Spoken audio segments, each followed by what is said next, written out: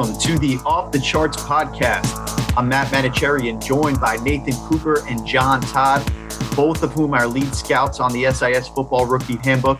Coop, it's been a few weeks since we've had you back on the show. Welcome back. What was your biggest takeaway from the four games? Yeah, I think how fun and competitive the NFC West is going to be this season and how it has, you know, over the first four weeks. We thought the Rams were the front runners going into last week. Arizona came out and took it to them a little bit. That Seattle San Francisco game was a good one. And now we get consecutive weeks of, of NFC West matchups. We have the Rams and Seahawks tonight, uh, and then Niners Cardinals on, on Sunday. So I think it's going to be a fun year watching these teams battle it out and, and see who comes out on top. Yep. Mark Simon asked me a few weeks ago if I thought they could all make the playoffs. I said absolutely not. But here we are. And when you look at it, the all four teams in the division are in the top half of the league in total points. The 49ers are 15th, the Seahawks are 12th, the Rams are tied for fourth, and the Cardinals are number one. John, what was your biggest takeaway from week four? Yeah, the NFC West cannibalism begins. For me, it was the Dallas Cowboys seemed like legit contenders. Week one battle with the Bucs, obviously, then close win against a good Chargers team, dominated the Eagles, and then this past week beating the unbeaten Panthers after a huge third quarter. So statistically, the Cowboys are in the top 10 in passing, rushing, and pass defense EPA offensive line points earned and pass rush points saved. That's every phase but run defense, really. That's their only lower rated phase right now. They've proven they can win with Dak's arm, with Zeke and Pollard's legs. In a low scoring game and shootouts, Trevon Diggs won't stop getting interceptions. They're doing all this without Michael Gallup, Demarcus Lawrence, La'el Collins. And then they got the, the Giants this week and then the Patriots the week after that, right before their bye. So we'll see if there's a letdown spot to come or if they can confirm that they belong in this upper echelon of contenders. Yeah, they should continue just floating through that division, especially on the strength of their number two ranked offense. And I think you brought it up for the first time today, but it's going to come up and be a sort of recurring theme that comes up throughout the day. The lack of emphasis on run defense in the NFL right now, especially on, on some of the better teams that we're looking at and the true contenders. The Cowboys are the first one where it comes up. When you look at on defense, they've been performing pretty well in the past game, but it's been that run defense that's kind of been been their weakest unit. And as much as football coaches hate to say it, like historically, you want to be able to stop the run. If you have to choose one unit on, you know, your passing offense, rushing offense, pass defense, rush defense, if you have to choose one unit that you could struggle in a little bit in the modern NFL, I'm not saying it would work in high school or college football, but in the modern NFL, I, I think you might choose run defense. So something to keep an eye on there. So let's get right into the biggest games of last week. First one, biggest one, the Cardinals against the Rams. It was number one against number two in total points coming into the week. John, we discussed the numbers coming into last week. Even though both of us like the Rams a little bit, the Cardinals had some some compelling statistical points, including their number two ranking on total points on defense on the strength of a number one pass rush unit. That might have had something to it looking ahead into that game. Yeah, for sure. We knew it'd be a competitive game. I kind of figured that the Rams would win, but I, I figured that the Cardinals would still be in the mix all year. We, we knew they were a good team. Flip the other way. Yeah, they look great. The running back tandem I talked about last week worked as intended. Edmonds put up 120 yards in the middle of the field, and then James Conner had two touchdowns in short yardage. But overall, it really seemed like the offensive game plan was clearly to distribute the ball and attack the Rams from different angles. The Cardinals had four different players with multiple carries and six different players with multiple pass catches in the first half alone. So that's when your game plan is being established. Obviously, in the second half, they get a lot more run heavy to run out the clock and everything. But that first half, they had 10 guys with multiple touches. So they really distributed it all around. Can we unpack that real quick, John? I want to just unpack that yeah, sure. because when you talk about Cliff Kingsbury and you talk about the offense that he's running, you certainly think one of the one of the forefathers of, of the spread game in general, Mike Leach, and what he likes to do. When Mike Leach talks about balance, he doesn't talk about balance being 50% run, 50% pass. He talks about it being 20% this player getting the ball, 20% this player getting the ball, 20%. that. If all of your skill players are getting the ball 20% of the time, that's balance. I think that's exactly what you're saying about the, the way that they tried to attack the Rams. Yeah, doesn't matter how they get there. Of the four guys with multiple carries, two of them were to Rondale Moore. Obviously, they're getting guys in the slot. The one guy that didn't have multiple touches was Christian Kirk, who's been doing a great job this year as an inside receiver, bumping inside and, and one of their inside receivers in the air raid there, kind of a, a position change. But yeah, they really distributed around. That was definitely their game plan. And then up front, they schemed up their protections to have the edges beat them and not Aaron Donald, which is what we talked about, which definitely happened a few times. Donald did get a few sacks for the perimeter guys, but they clearly liked Kyler's chances against edge pressure better than pressure up the middle. Yeah, you talked about Edmonds a little bit, and he's a guy that I actually liked coming out a few, few years ago. I, I, it's been nice to see him get a little bit of an opportunity. I like what he does in the run game. He can also be a, a receiver, like you said. And, and, he's been a little bit of a surprise for him. So I definitely like what he's been doing. Kyler was my surprise pick going into week one, and he hasn't dis- disappointed yet this year. The team they've they've assembled, like you guys mentioned, it's it's come together perfectly. I'm definitely surprised that they came out and shut the Rams down like they did, especially early in the game. Stafford didn't look like the Stafford from the first three weeks. A couple weeks before that, he he looked like he was slow getting out of the gates. You know, finally settling in. You know, that second quarter into the second half. Didn't really do that uh, against the Cardinals defense. I see them bouncing back though. I think the the Rams are definitely good enough to still stick around and and be one of those top end teams. I think they strolled through those first three weeks. They, this was a little bit of a wake up call for them. I think. Yeah, absolutely. I can't wait to see how that division race shakes out as we go forward. All right, let's move forward to Sunday night. It was the game everybody talked about Brady versus Belichick. Everybody looked forward to it. What were your guys' takeaways from that game? Nathan, you go first. Yeah, Mac Jones looks like the quarterback of the future for New England, and Tom Brady looked looked like he struggled a little bit. The big thing coming in was obviously the Brady Patriots reunion, Brady breaking the uh, the yards record. You know, those are big storylines and everything. But I think my biggest takeaway is is how banged up that Buccaneers defense is now, uh, especially the secondary. That was a top two or three defense coming into the end of the season. Really liked them all around, and now I'm a little worried that they're even going to be a top ten defense at least these next few weeks until some of these guys get back. You know, Mac Jones' average throw depth was just over five yards this last week. Uh, and that was the bottom of, of any quarterback in, in the league last week. So I think against a, a team that was pushing it down the, or that could push it down the field against a quarterback that would try to to push the ball down the field a little bit, I think the outcome would have been different. I don't think the Buccaneers probably won win that game, you know, if that's the case. But Brady and the offense, they need to play better than they did on Sunday night, uh, especially to overcome some of these missing pieces on the on the defensive side. Yeah, I agree with Coop. The Bucs just weren't in sync offensively. It was one of those nights that it wasn't the comfortable win I expected. They still found a way to get it done, but Brady was off target more than usual downfield. When he did drop in some perfect balls, he had the Antonio Brown drop in the end zone. Weather was probably a factor for a lot of that, but it just wasn't a, a clean, smooth game that you normally see from him.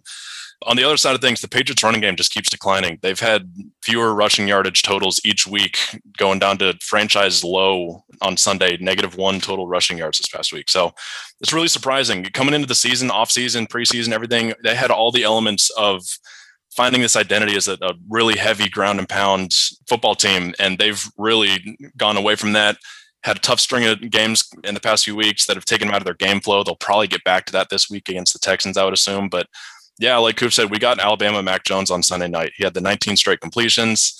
That interior pressure that I, that I talked about last week with Devin White coming up the middle, he forced that early interception. But then as the game progressed, he became so unfazed by those blitzes that, that were getting thrown at him that the Bucs had to play back. They had to play it straight back off, stop calling all those blitzes and and play it straight up, which almost burned them because of how, how depleted their secondary is right now. So slugfest in the rain from the mid quarter, mid third quarter on. We got points on every drive, so it was a Mac and Brady shot for shot. Mac looking a little young Brady-ish. The play action fakes, the the really executing all that stuff. If you squint hard enough, it, it, he looked really good. So really encouraging performance from him in a big moment early in his career. Yeah, well, if you remember that Brady wasn't that good early in his career, he's been better in his 40s than he was in his 20s. You know that'll also play into it. Mac Jones, I, I don't think you're you're wrong at all in terms of his ability to process, get the ball out of his hands. Yeah, it's a little bit of like dink and dunk all over the place, but that's what that offense has been for a long time, especially when they don't have the vertical targets. I was anticipating just like a lot of split safety stuff from from Belichick coming at Brady, and in actuality, it's like 47 dropbacks, something like that, just eight of them with split safety schemes. So for as much as I was anticipating that, uh, Belichick definitely mixed it up, and he kind of leaned on the the middle of the field close stuff a little bit more than I would have anticipated if you, if you had told me coming into the game. One other thing I wanted to talk about in this game, people asked me a bunch about the decision to kick at the end of the game. I wanted to hear what you guys thought about that because I understand the criticism. Obviously, he missed the kick. If he makes the kick, you still have Brady getting the ball back and too much time on the clock but I didn't find it to be an egregious decision at all. I think this is one of those where you think if your kicker can make it, then you kick the ball from there. If, if you don't think he can make it, then then you got to go for it. I, I didn't think it was like just stupid to kick in that situation. I don't. Did either of you guys have a, a differing view on that? No, no, I, I, thought it was fine, and it's one of those things where he had the distance. That's kind of your big question when when you got the the weather factor there. It's a long kick. The fact that he got it there and he just missed it, then then that's kind of all you can hope for. So go with the game flow. You're obviously underdogs. It was a, it's a low scoring game. Take a shot there. I didn't have a big issue with it. Yeah, Nick Folk's one of those guys that he's been through these situations. He, you know, he's a guy that can make that kick. You know, they they kept talking, every, you know, throughout the entire uh, part of the game where you know his plant leg is his plant leg okay to make a kick like that in the rain and, and everything. And and like John said, you know, it, it, made it there. It just you know, unfortunate off the cross or off the uh, the upright there. I, I, didn't have an issue with it. I think that's probably the decision I would have gone with. And and you probably do leave Brady enough time to come back, but the way that the entire game was going and the game flow of, of, the game. It's possible that he comes down and gets a field goal, but the rain started picking back up, and there's a chance that your defense can hold up there. So uh, definitely don't have an issue with it. All right, we're all in agreement. Let's move forward to Monday night. Keep it moving. The Chargers beat the Raiders, that really good AFC West as well. Justin Herbert hasn't been statistically outrageous like he was last year, but the eye test is looking pretty strong. And not for nothing, he's fifth in total points behind number one, Patrick Mahomes, number two, Tom Brady, number three, Lamar Jackson, and number four, Matthew Stafford. So he's been playing pretty well. Meanwhile, Derek Carr on the other side of things finally showed a little bit of chinks in his armor when under the pressure of that Chargers defense, which has always been the question with Carr. Where do you guys stand on how you evaluate these two quarterbacks? Yeah, I still like both of them. Herbert still has those rookie moments at times, which you know makes sense. But I like what's around him. I, I, like the decisions he's making. I like that you know they have a strong run game. They they have that balance in in you know all the areas like we talked about earlier. Strong weapons through the air. The offensive line's been playing pretty well for the most part, keeping him pretty clean. I think he's going to be a, a, guy that's going to ascend into that top 10 quarterback in the league discussion by the end of the season. Last year, he came out and just hair on fire, played really well, and, and I think better than a lot of people thought. And, you know, I think he's really starting to take that and keeping on improving into his second season. So I think he's playing really well, and I think he's going to be up there by the end of the year. And and on the other side, he might be uh, there, man. I think he might be there. he, I got he's say. getting he's getting close. Absolutely. You know, I, I, I like the the direction he's in for sure, and and that team, you know, that team's a, a solid team to contend. So I like it. And looking on the other side, Derek Carr, to me, it didn't seem like there was really much he could do. That offensive line was under siege, you know, from the start. That Chargers pass rush was all over all night. And like Joey Bosa said, you know, Carr is kind of a change quarterback when he gets under pressure, as are most quarterbacks. Carr needs to be uh, obviously better under pressure, but that offensive line needs to get it together moving forward. If they want to play in this division, you know, that has a lot of good pass rushing, that offensive line is going to have to step it up. Carr's a solid player, not under pressure. You leave him clean, he's he's gonna gonna do some things for you. But you know, get, you get pressure on him. Doesn't necessarily fold a little bit, but he definitely struggles. I mean, I think that's one area he definitely needs to improve on. But like I said, that offensive line really needs to start stepping it up, or, or they're going to find find themselves sort of behind the eight ball there. Yeah, right now that 26th ranked offensive line in terms of total points for the Raiders definitely has been a bit of an Achilles heel and we've seen uh, maybe a slight regression from from Derek Carr over the last week or two. If you count the, the pick six last week against him, we'll be keeping an eye on him throughout the year. But I'm kind of with you guys. I think both those guys are, are players that I'd like to compete with, especially if I had a, a Mahomes that I had to go up against. John, what else stood out to you from that game? Yeah, uh, off of that, Leatherwood's been struggling at right tackle. He'll figure it out. I do really like Derek Carr's response to Joey Bosa that that he said. Actually, I think you were watching the game in reverse. That he thought that he got more comfortable as the game went on. Obviously, the pressure got to him early, but I just like his charisma and stuff. He feels like he's he's really grown into a leadership role there over the past few years with the Raiders, and and I think they've got a really good situation with him. But yeah, obviously the main thing that stood out with me was that unbelievable Hunter Renfrow play on the punt. That was as good an individual football play as I've seen in a long time. The football intelligence to identify the uncovered gunner, the instincts to choose to bail from his return position and start sprinting for the open man before the punter's even shown fake. And then the physicality and technique, that that wrapping technique looked better than a lot of safeties do these days. So my jaw dropped. It was just unbelievable winning play. He's it's something that he's kind of become known for. And then obviously, actually for like more football stuff that he's he's used to, the the double whip, the flat China route, whatever you want to call it, that they're calling it these days. That it's just a great route for the touchdown. I saw that piece going around that Cooper Kupp's kind of co-opted it for the Rams and, and Sean McVay's offense when defenders are so used to usual footwork and only a certain number of options and breaks that players can take at the stem, it's obvious that Renfrow's found something that hasn't clicked with corners yet that, to stay that extra beat patient through. So he's really clicked into something in that end. And then, yeah, the punt return thing was just unbelievable. The way he uses the defender's technique against him, it's like, oh, you studied me? Well, I'm going to make you pay for studying me by by messing with what exactly you're, you're prepared for me to do. So I love that uh, word comes to mind that I know Mark would appreciate if he were here. He has a Jeterian way about him. He is that that that Derek Jeter type of find a way to make a, a winning play, whatever you want to call it. Uh, Renfrow does that stuff. So definitely something that was crazy to see. Nate, anything you wanted to talk about with this one? Obviously, that Renfrow play. You know, I didn't even realize that was him at first. I thought it was some safety bailing from his, uh, you know, safety spot, about to drop back into to punt coverage, and he gets over there, and, and then I realized that was Renfrow. Is just a crazy play, like like John said, awesome to see. But yeah, I, that Chargers defense. You know, I don't want to get into it too much here. I think you know we're about to talk about this upcoming week, so I'm going to save it for that. But I'm very impressed with the Chargers defense going forward. All right, that's a good tease, and we'll be right back. The Sports Info Solutions injury risk model and application is sweeping the NFL, providing never before seen insights to the most cutting edge teams in the league. If you work for an NFL team as a scout, analyst, coach, trainer, or executive, and you don't have access to the SIS injury risk model and application, you're missing out on game changing information that has endless use cases. Our model is tested and calibrated so you can take the guesswork out of injury risk projections and reliably quantify the impact of injury risk on any decisions that you make. This product is exclusively available to NFL teams, and it comes with access through both a data feed and an online interface. The model updates on a nightly basis throughout the season to take into account the constantly updating stream of information. If you work for an NFL team and are interested in learning more about the SIS injury risk model and application, please reach out to us at offthecharts at sportsinfosolutions.com. All right, coming right back in. Let's look ahead to this weekend's games. Let's talk week five.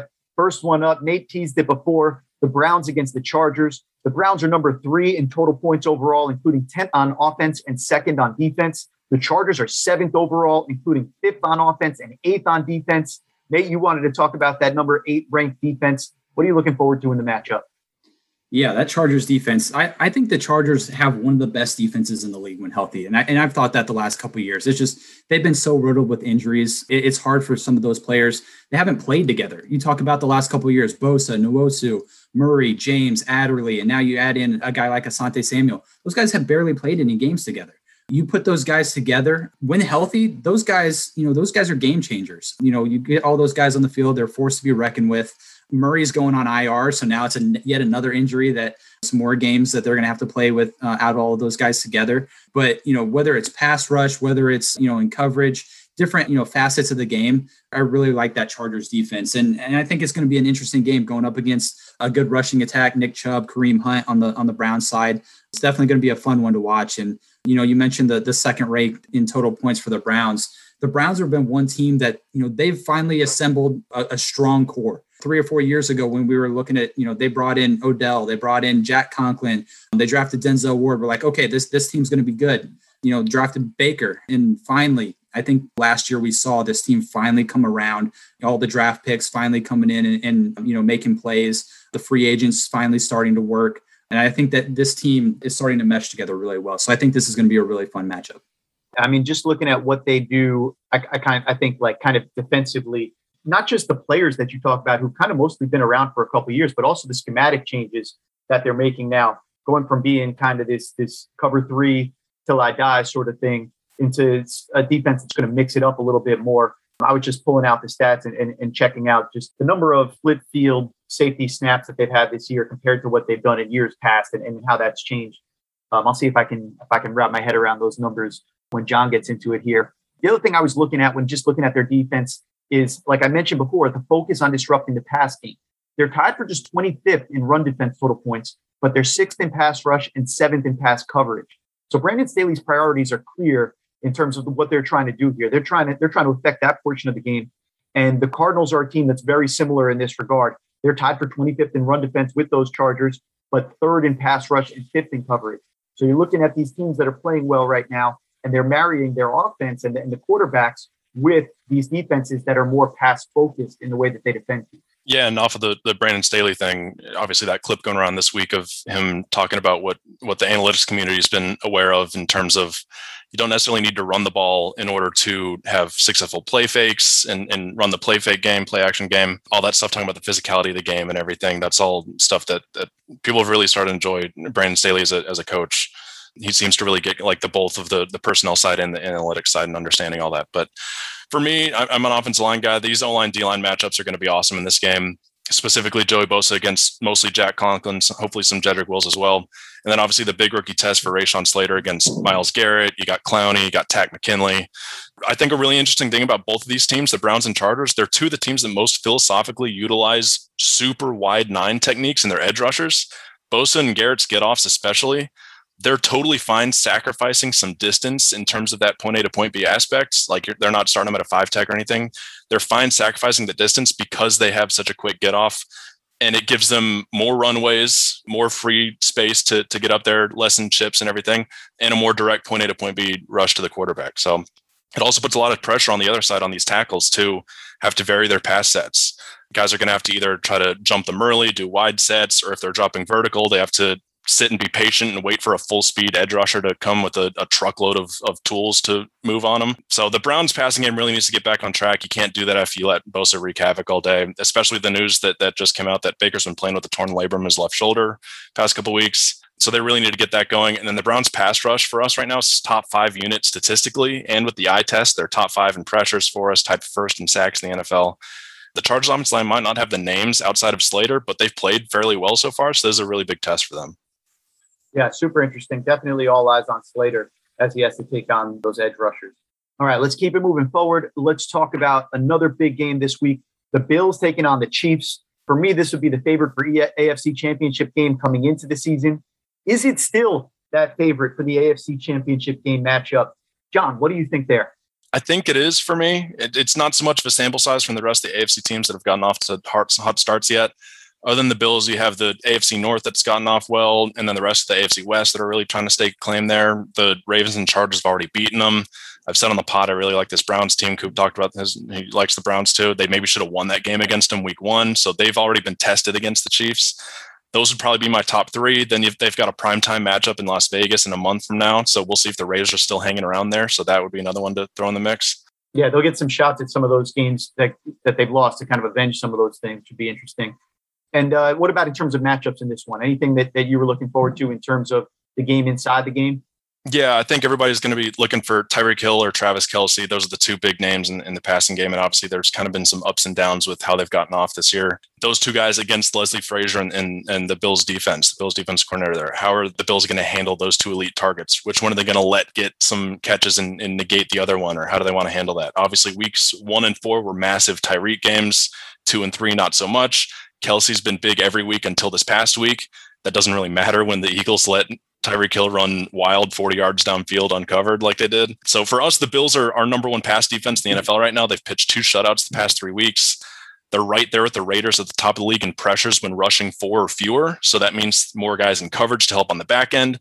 And in theory, personnel wise, they've got Tremaine Edmunds and Tre'Davious White as perfect personnel matchups, one on one, if you wanted to do that, against Kelce and Hill. On top of that, they got a great defensive coaching staff schematically. Now it's just about execution. They've got all the pieces there. I, I think this is going to be maybe a lower scoring game than people are expecting, or at least the Bills hope so. Right. If it's going to play into the Bills' hands, they might they might hope for that. Coop, you uh, went back and looked at some of the AFC Championship game last year to see what we could expect based on that one. What did you see as far as that went? Yeah, looking at that game, I, you know, I feel like Mahomes really got to do whatever he wanted. The Bills defense just couldn't really corral him. John talked about, you know, Hill and Kelce a little bit. Both of those guys accounted for nearly 300 of the 325 yards that that Mahomes threw for. They really didn't get a chance to corral him, and I think that's going to be something that they're really going to be focused on. John talked about, you know, Edmunds and, and White. I think those are some of the top guys on that team and in the league, really, and those guys can really match up with them. And when you look on the other side, the Chiefs defense they sacked Allen four times, picked him off once, and they just made him look uncomfortable. Whenever you're looking this season so far, the Bills' offensive line, they've allowed Allen to be pressured the third most in the league already. But the, on the other side, the Chiefs, uh, they're tied for the lowest amount of pre- pressures on defense as well. So I'm going to be interested to see which of those uh, units steps up. Uh, on Sunday and see if that that Chiefs D can really in that pass rush can get to Allen or uh, you know that Bills offensive line if they can step up and and and keep Allen clean because you know, I think the Bills' uh, offense definitely, you know, they have weapons. They can put up points and, and keep up with the, the Chiefs for sure. Yeah, it's like based on how the teams have performed so far this year, with with you know the Chiefs just like scraping up to 500, and the Bills having shut out two teams. Uh, the Bills have been a little bit better, but I mean, looking into this game, I think that, like you're saying, it, it's it's it'll be a matter to see how those matchups play out. Um, in terms of total points, John, I think you mentioned it. The Bills are first on defense; they're second overall, so they've been outstanding. Despite the fact that the Chiefs are way down at 18 in the total point standings, I would still give them the nod to be in that favorite to be in the AFC championship game along with the Bills, ahead of, like you mentioned, the Browns, the Ravens, the division rivals. And all of those teams are ahead of them in, the, in those total points rankings right now. They're number one in the NFL on offense, the Chiefs, despite the struggles, but number 32 on defense. So they've got to find a way to get back to some semblance of complementary football, some some way to get the ball turned over to, to just help keep feeding that that number one offense because ultimately that's the blueprint for them. Yeah, we talked about the the Cowboys and kind of giving up and sacrificing the run defense a little bit. The Chiefs have been awful against the run, and I think that's one thing that they need to start stopping to, to try and help that that entire defense for sure. The Chiefs 32nd against the run, 24th in pass rush, 28th in pass coverage. Got to do something. All right, one more game to talk about. Kind of sneaky good matchup here. The Packers, who are the 11th ranked team by total points, take on the 16th ranked Bengals in a matchup. What should we look out for in this one? Yeah, a couple of three and one teams here. I'm not sure, you know, people thought of that after week one, but on the Bengals side, Ja'Marr Chase looks like a number one receiver for, for the Bengals offense. But for me, the, the big debate, obviously, during the draft was do we take Chase and kind of pair him back up with Joe Burrow, or do we take an offensive lineman? And I think that was a real debate. Um, that the Bengals offensive line wasn't good last year. It, hasn't been good. And, this year, they haven't given up, given up a, a ton of pressure, you know, just looking at the raw numbers. But Burrow's been sacked 10 times already. Uh, and he's been under duress a lot in key situations. So that offensive line really needs to step up. It, it's definitely a huge help that Burrow's been playing well enough, and they have the the playmakers on the outside when Higgins is healthy. Chase, obviously, Uzomah looked really good last week as kind of a check down and, and dump off and tight end receiver. And, and, then those those running backs as well can kind of do a little bit of everything in the run game and the pass game. So they definitely have the, the weapons, but that offensive line definitely needs to play better. This is another one of those games where you talk about the Packers defensive line they haven't pressured uh, opponents at a high rate yet. So another matchup where you know the, the offensive line hasn't been great, but neither has the defensive line. So we're going to see which unit comes out there. Obviously, you know we all knew Aaron Rodgers was, was going to turn it around after Week One. He wasn't going to play that bad this season. The relax, you know, mantra definitely came into play there, and he's he's going to be a, a top end quarterback, and that, and that's how it's going to be throughout the rest of the season, I would think as well. And so I, I think it's going to be interesting to see if the Bengals can keep up honestly, with with the Packers and with that offense and with Rodgers. Yeah, I was just going to say that Burrow came up clutch last week. They scored on every drive in the second half for that comeback win against the Jaguars. But like Coop just said, they're going to need strong four strong quarters, a, a, complete game. They had a really good first drive, and then they they shut down for most of the first half. There, they're going to need four strong quarters to keep up with Aaron Rodgers. The Packers aren't facing the Steelers anymore. They they played them last week. The Steelers just dumped everything down underneath to Diontae Johnson, Najee Harris. Joe Burrow's working to all levels of the field. He likes doing that. He has real perimeter threats, especially if Tee Higgins comes back this week. He started practicing again yesterday. Burrow's tied with Justin Herbert right now for second in the league in IQR when throwing at least 15 yards downfield. On the other hand, Joe Barry's Packers are a predominantly zone defense, and they'll throw some heavily disguised looks at you. They'll make things real confusing. And Burrow's had a lot more success this year against man coverages than zone coverages. So if you look at the touchdown interception ratios, just those raw numbers, but there's also a 30 point difference in IQR for us. So we'll see how that shakes out if he can if he can kind of figure out the the Packers what they're throwing at him with zone defenses. Then you've also really got to hope Joe Mixon plays. He's one of the league's higher running back snap count rates so far this year and that's for a reason. Samaje Perine and Chris Evans aren't really the threats that he is in both phases of the game, running and passing. So they're really going to cross their fingers that he got hurt on that last drive of the game last week. Hopefully, he can come back and play. Yeah, I think that's that's really interesting. You know, especially with the Packers being kind of poor in run defense. But I keep coming back to with this game and, and with with everything this week, just that that question of the defensive philosophy being focused on defending the pass versus defending the run. I think with Joe Barry kind of getting his scheme in there we're seeing the Packers 12th in pass rush, 10th in coverage against being near the bottom of the league in run defense. And now I know Packers fans are still going to say, I can't believe Matt's here telling me that, that he thinks that the Packers get it because they just got Rasul Douglas instead of Stephon Gilmore. And, trust me, I don't think Rasul Douglas is going to inspire that kind of confidence like you would in a Packers fan with, with Stephon Gilmore. But over the course of the year, the thing that I'm looking for with Joe Barry's defense, not so different from looking at the Chiefs' offensive line with all the new pieces in there is how it gels over the course of the year, how they come along, and how they're playing in December, not necessarily being the same thing as, as what we saw in September. So they can continue to progress and they can continue to, to operate more in a way that, that shows that they get it. and they understand what those priorities should be in terms of defending the pass and making sure that they handle that priority, then I like where they're headed. This will be a fascinating game. If the, if the Bengals come out and win this one, I would have to really take a harder look at them because I haven't been a believer. I haven't been a fan of them being some team that I think has really gotten it. But for nothing else, if, if they come away from this game four and one, beating the Packers, we'll definitely have to give the Bengals a much a much harder look. All right. This wraps off the Off the Charts Football Podcast for week five. You can find our content all over the internet. Our Twitter is sportsinfo underscore SIS. Our articles looking at matchups and prop bet possibilities are up on Sharp Football Analysis. For stats, you can check out sisdatahub.com and check out the SIS Data Hub Pro, of course, for all your premium content. We've got lots more good stuff coming, so keep your eyes peeled for that. For Nathan Cooper, John Todd, and our producer, Justin Stein, I'm Matt Manocherian, and thank you for listening to the Off the Charts Football Podcast.